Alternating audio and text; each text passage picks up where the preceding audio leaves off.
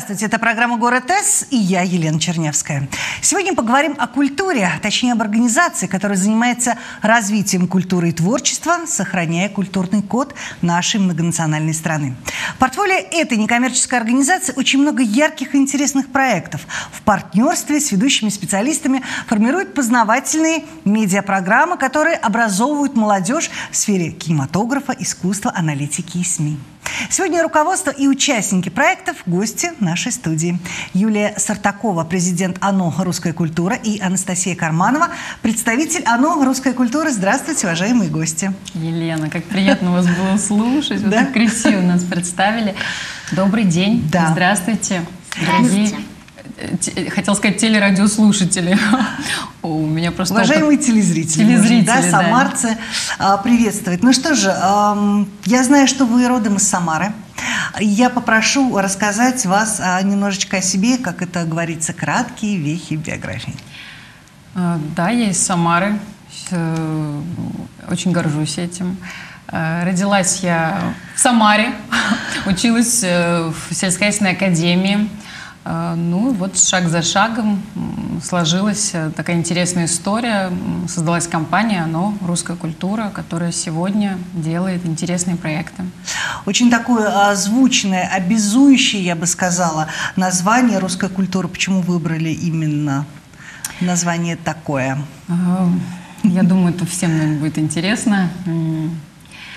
Я, мы очень любим нашу страну. Наша семья уже, наверное, на протяжении лет 12 помогает э, в развитии творчества, творческих детей. И мы э, с моим мужем вкладываем и деньги, и время э, в различные проекты. И так сложилось судьбой, что на протяжении восьми лет э, я активно занимаюсь таким проектом, как «Школьная красавица», э, где мы с девчатами сохраняем то, что было раньше в советские времена. Мы готовим, мы шьем, мы создаем какие-то невероятные поделки. И помимо этого я так сложилось судьбой, что мне предложили и сказали, давайте создадим автономную некоммерческую организацию, потому что время пришло, и название само нас выбрало. Mm-hmm. То есть здесь не мы что-то выбирали и хотели. Так сложилось, что вот оно освободилось, дали, сказали, давай, Сартакова, Юлия, вы сможете, да. у вас все для этого есть. Ну и все. Мы Юлия смогла. Мы, а, ну, вы знаете, здесь не Юлия не один человек. Наверное, Сартакова Юлия – это сейчас бренд, за которым стоит большое количество людей, команды. То есть это минимум 20 человек, которые ежедневно трудятся, придумывают, генерят идеи.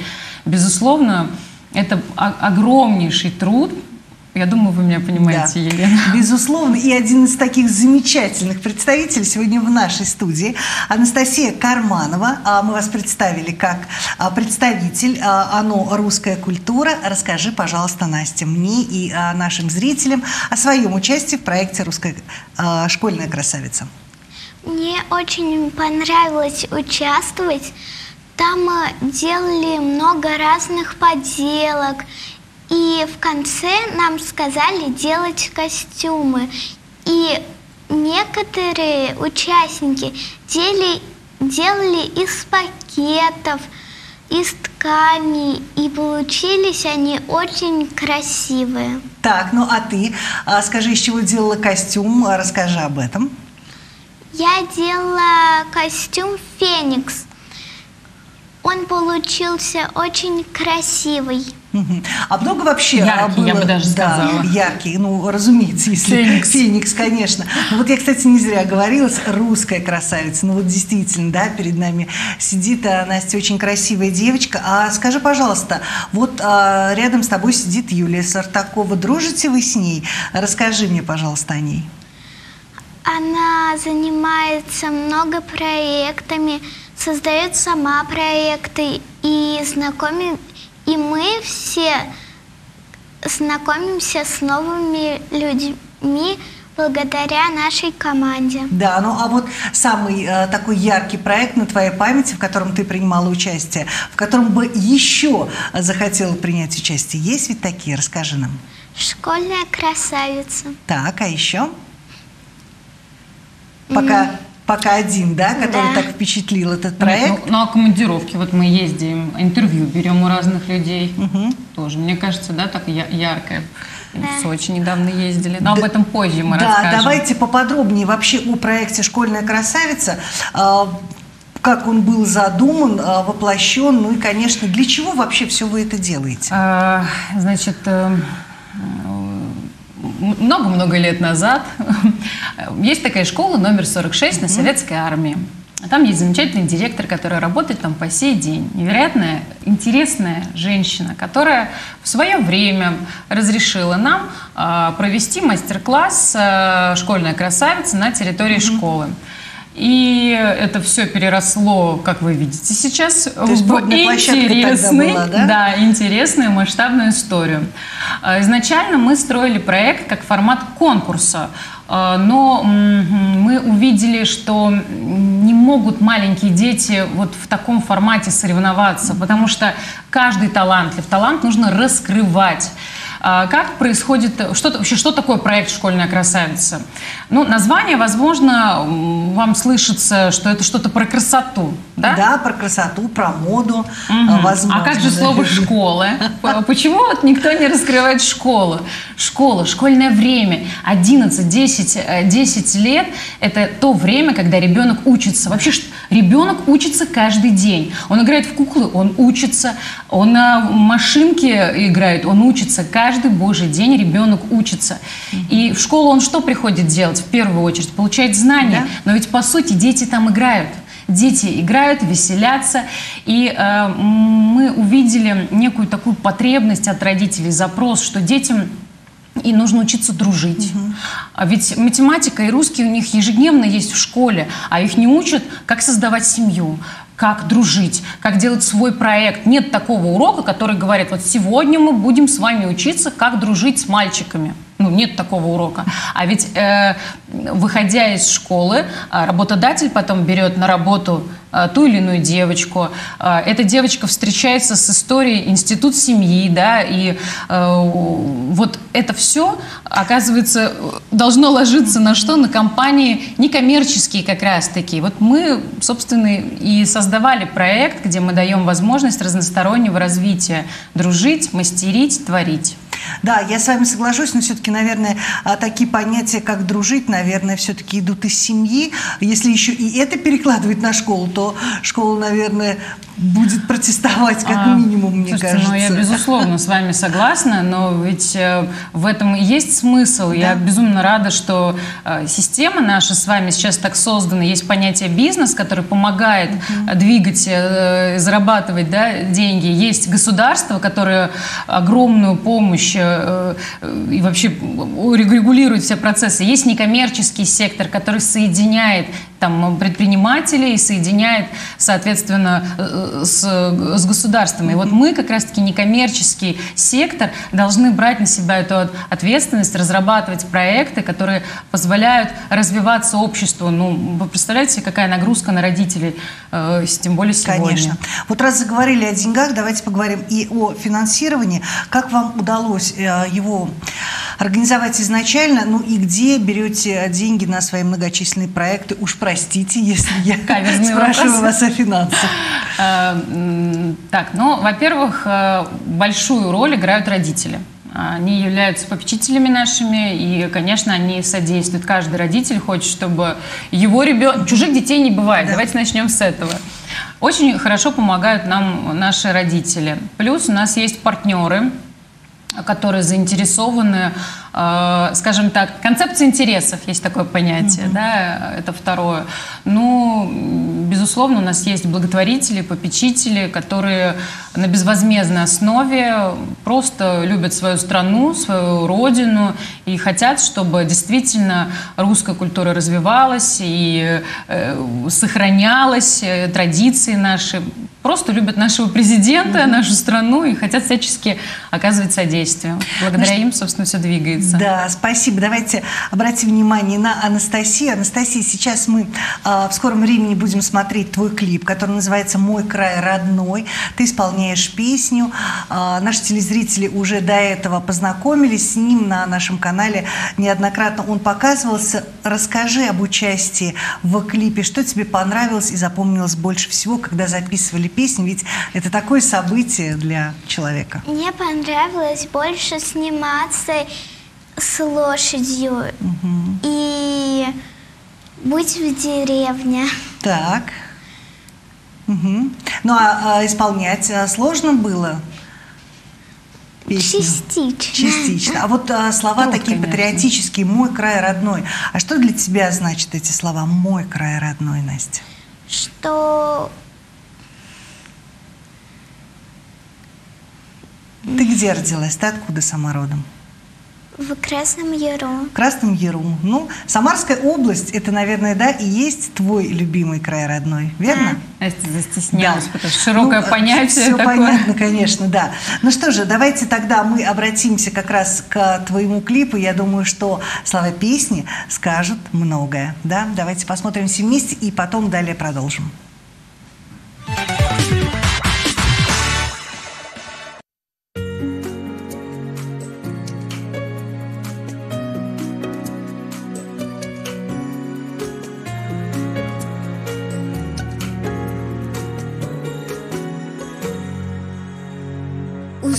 Солнечных дождей цветные радуги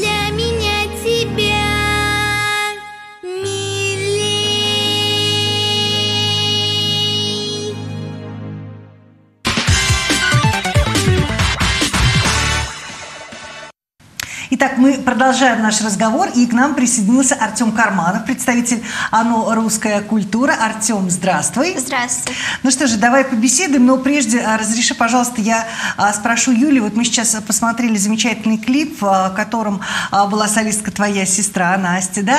И вот знаете, мне прям вот сразу на память такие строки. Здесь русский дух, здесь Руси пахнет, да? Вот задумка клипа была какая, Юлия? Так, ну у нас есть э, наш генеральный э, продюсер, который, собственно, выстраивает э, концепцию и съемки. Э, и вообще, раз мы русская культура, то mm-hmm. мы должны популяризировать все наш, всю нашу красоту э, нашей страны, нашей Родины. Ну и задумка очень простая. Э, контента разного много. Да. Давайте делать контент, который просит душа. Угу. И даже если мы сейчас смогли сделать клип, который увидела 500 тысяч просмотров, то среди этих 500 тысяч просмотров, я думаю, включится угу. тот культурный код, который э, есть в нашем ДНК. Да. Поэтому шаг за шагом, э, я думаю, мы придем э, туда, куда нужно. Да. Ну, это, я так полагаю, а, не первый был клип, который Конечно, был нет, снят? Нет, нет, нет, И уже вот, да, путем проб, а, возможно, ошибок вы пришли именно вот к той идеальной концепции, да, которую вы сейчас да, первый клип э, мы снимали на тему значит, первоклашка, популяризация школьной формы. Я считаю, что это очень важно. Да. И, безусловно, Согласна 50... полностью. Я живу в Москве, и у нас 30% э, школ считают, что школьная форма не нужна. Вот как раз школьная красавица – это про популяризацию школьной формы и традиции, традиционного воспитания детей, где есть мама и папа. А, вот. А, и здесь в данном случае мы хотели показать, что действительно деревня, поля. Вот вы сказали, как вы пришли к этому, был ваш первый вопрос. Вы знаете, мой папа меня привез э, в горы в Жигулевские и сказал, доченька, посмотри, это твоя страна, это все твое. Посмотри, мне было 8 лет. 8 лет. И я хочу, чтобы все детки понимали, что это ваша родина, ваша страна наш край, наша Самара – это невероятно, это место богов. Здесь мы, мы растем в таких красотах. Мы каждый день можем видеть горы, нашу Волгу. Мы все это должны беречь. К нам после чемпионата, э, посмотрите, сколько туристов к нам ездит. Как говорят о Самаре. Самара – это невероятное место, и я считаю, мы должны гордиться я из Самары, я да. этим горжусь. Что мы еще тем более живем в таком многонациональном городе. городе. Ну что же, Артем, хочу, да, слово Артем, тебе. Да, сейчас да расскажи, пожалуйста, о своем участии в ОНО «Русская культура». Что тебе нравится больше всего, может быть, в каких проектах участвовать, ну и как ты сам выделился? То есть твоя сестра участница клипов, ты что? Я беру интервью так. Э, также в ОНО русской культуры есть многие направления. Я занимаюсь направлением патриотизм. Э, недавно мы высадили в Красном Яру аллею героев. Мы деревья. посадили деревья, да. Да, деревья. Угу. Так, ну то есть ты, а, можно сказать, мой коллега, ты юный репортер. Расскажи, у кого и на какую тему ты брал интервью? Я брал по теме патриотизм. Я брал интервью у Левина Алексея Гавриловича. Так, кто это? Это человек, который создал разговоры о важном в школе. Э, и также председатель штаба трудовой доблести. Ну и что он тебе интересного рассказал? Он нам рассказал то, что надо беречь свою родину, не засорять, а наоборот угу. защищать. защищать. Да сажать деревья, не мусорить. Ну, вспомни, в первую очередь, э, э, Алексей Гаврилович сказал, что труд украшает человека. Вспоминай, труд, труд, труд. Герой труда. Это один из... Господи, очень много можно заполнить времени. времени. Левин Алексей Гаврилович – это герой труда в первую очередь. Спасибо большое. Еще обратимся к твоей персоне, поговорим с тобой. А, Юля, я еще хотела вас вот о чем а, спросить. Скажите, а как вы подбираете а, проекты? Как вы выбираете, в каком проекте вы будете принимать участие? Кто определяет тематику, направленность? Вот вы сказали, вы формируете вот такой качественный контент.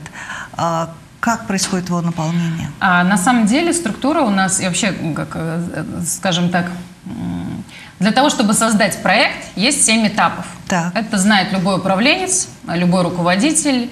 А, вообще любую задачу, чтобы решить, нужно пройти семь этапов. Угу. Даже вот просто элементарно снять сегодняшний процесс, есть семь этапов. Вот первое, что мы сделали за последние несколько лет, мы создали такие некие рэперные точки. Это формат, это конференции. То есть мы собираем молодежь и ребят на э, конференции, где мы обсуждаем актуальные для них темы. А, Значит, это первая история. Соответственно, на данные конференции приходят 10 плюс, э, 14, 15 лет ребята. Ребята знакомятся с спики- со спикерами, с э, известными личностями, с блогерами, с учеными.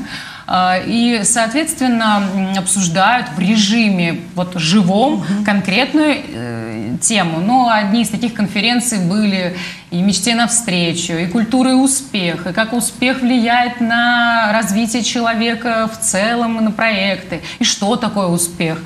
А, Ну и помимо этого также мы обсуждали всеми известные соцсети, которые, к сожалению, влияют на наше Да, поколение очень да. сильно. Вот, это то, что касается конференции. Задача развить эту историю в 89 регионах. Школьная красавица. А, И сразу же вопрос, а где же мальчики? И разработана программа «Лидеры в деле». Это история про аналитику, это как раз про медиаобразование. А, Я однажды услышала от какой-то из звезд э, такую фразу «А, Весь мир сейчас это цифра, и вот кто успел, тот и станет лидером. Это было до истории, э, ну, года два назад. Я вот считаю, что интеллект, время интеллекта, и мы должны сейчас э, максимально не торопиться куда-то в цифру, а э, заниматься Вкладывать интеллектом. в свое образование, Интеллект. в свое развитие. Да, да. и вот, безусловно, не знаю, уместно ли это будет, как-то не звучит у меня слово искусственный. Вот есть интеллект человеческий, данный от природы, и невозможно ничем его заменить. Невозможно. Да. Ничем. Приятно слышать.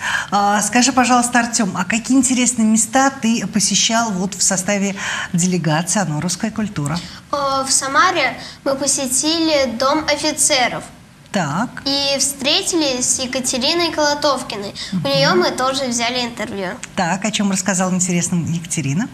Екатерина тоже по патриотизм и тоже говорила то, что надо беречь, ну а так она задействована на нашей военной операции. Мгм. Скажи, а ты уже думал о том, а, какую профессию ты в будущем выберешь? М, Я думаю, то, что я продолжу свой семейный бизнес Так. мамы и папы Мгм, и э, стро- на строительных материалах. мгм. И И? будешь в нем успешным, да? Но Да. вот И твои построишь еще Да. аналитический лагерь. Твое участие в русской культуре, скажи, вот встречи, проекты, в которых вы участвуете, вот идет на пользу лично тебе, твоей сестре, вашей семье? Да, мы работаем не на себя, не чтобы мы стали популярными. Мы работаем на общество, чтобы, допустим, у Насти вот клип посмотрели, воодушевились Это этим правда. клипом и подумали, ого, девочка так классно поет, а может быть и я тоже Смогу х- так же, да? И вот так вот. Ну, то есть к вам а, могут обратиться юные таланты? Конечно, Вообще, конечно. кого вы ждете в свою организацию? М, мы- Наши двери для всех открыты. Так.